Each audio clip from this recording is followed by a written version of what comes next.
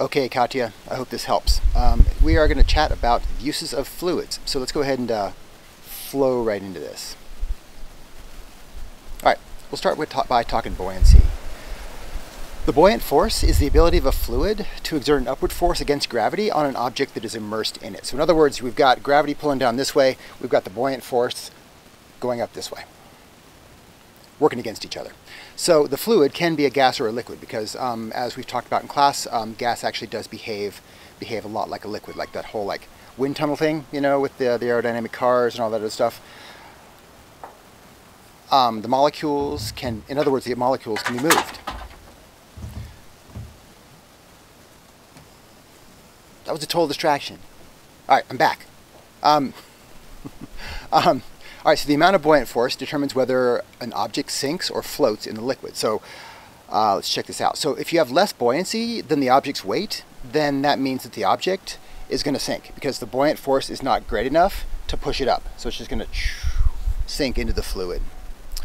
If you've got more buoyancy than the object's weight, that means that it's actually going to sort of float away. Now, if you have equal buoyancy, to the object's weight. That means it's going to float sort of like in a stationary position. So you've got an equal amount of gravitational force, um, or buoyant, excuse me, buoyant force up, and an equal amount of gra gravitational force down. So that's that's where you're going to get that equilibrium, and it's going to float. All right, so let's talk about Archimedes and his principle.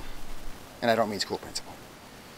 All right, so the Archimedes principle was the buoyant force states that the buoyant force on an object is equal to the weight of the fluid displaced by the object. So it depends on density whether it's going to sink or it's going to float. So we've all we've all sort of like you know like when you get in the bathtub or something like that. Um, when you go in, when you put your body in the tub, the water rises, right? So that is the buoyant force of an object. Um, this states that the buoyant force of the object, that in this case that's you, is equal to the weight of the fluid displaced by that object. So the buoyant force would be the water that you displace based on your buoyancy, on your body on your buoyant force. All right, so um, the way to discover the density is to divide the mass by the volume. So in other words, the, an object is more dense, excuse me, so if an object is more dense than the fluid, um, that means that lots of water is going to slosh out. So in the object is going to sink all the way to the bottom because there's no way the buoyant force can push it up. In this case, a good example would be lead. So if an object is less dense than the fluid, that means a little bit or no water will slosh out, and the object's going to float like a cork. It's not going to displace a whole lot of water. So if the object, again, is the same density, then some water is going to slosh out, but the object, the object is going to float at a constant level. So um, let's keep chatting, ch chatting about Archimedes' principle. So how does a steel ship float? Since it's solid, it's solid steel. Why doesn't it just sink in the water? Because it's a hollowed out bowl and the shape is filled with air. So basically what that does is it reduces the overall density of the object because it's not all compacted, it's actually sort of spread out and you've got the air that's pushing against the, uh, the water. It's going to displace. So the shape sinks into the water and displaces the water until it equals the weight of the steel and that's why it floats. All right, moving on to Pascal's principle. All right, this states that, that fluid transmits pressure, and not just that, but um, when a force is applied to a confined fluid, now it has to be confined, an increase in pressure in one spot is transmitted equally to all, to all parts of the fluid. As you can see in this picture right here, um, Pascal's principle, you've got downward force, and then you've got force spreading out into the rest, equally into the rest of the fluid. So this is what happens. So what happens to the toothpaste when you squeeze one end of the tube and the other is open? It's going to emerge from the other end because it's not confined by the container. So essentially you've got force in all directions, but since there's nothing containing it at the end, it's going to squirt out. All right, let's go ahead and apply Pascal's principle. Um, this is hydraulic using hydraulic machines. So basically what happens is you can you can turn a small force into a large force because remember the force of, of the force is going to be distributed equally throughout the entire fluid because it's sealed. It's in a sealed system. So you can, you can exert, er, exert this small force down here, and then that force, since you're putting it on a larger surface area, is actually going to become a larger force.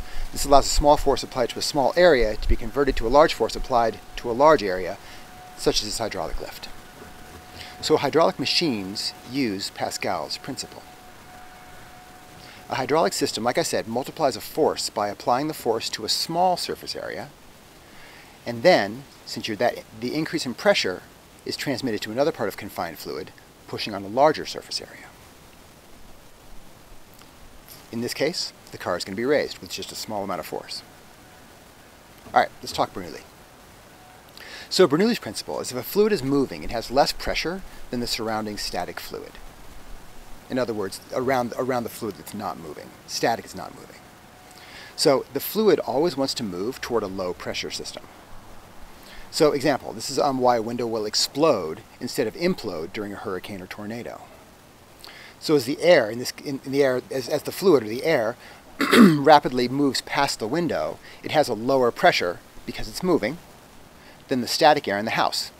So in other words, the lower pressure, because the, the air is moving past the window, lower pressure.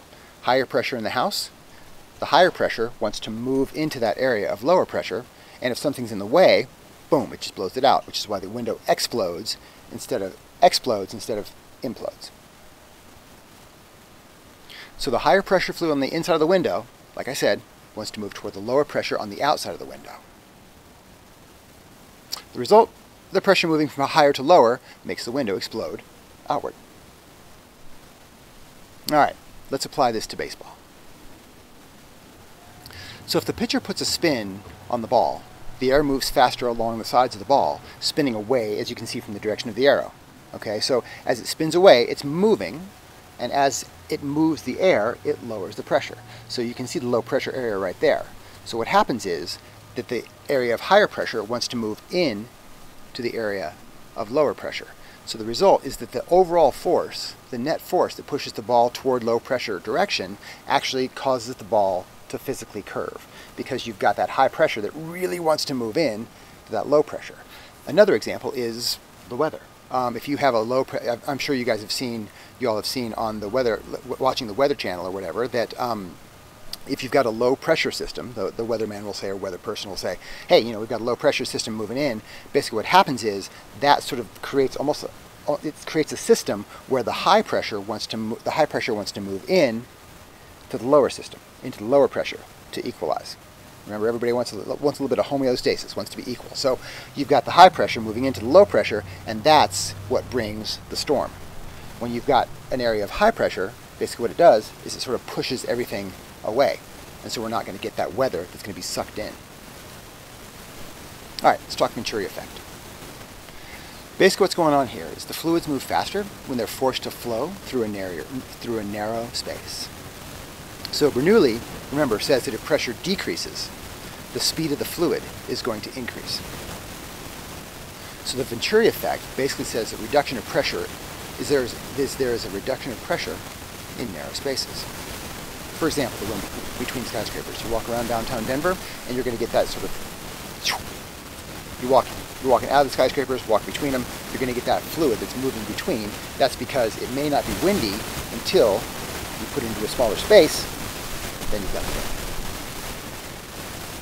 And that is about it.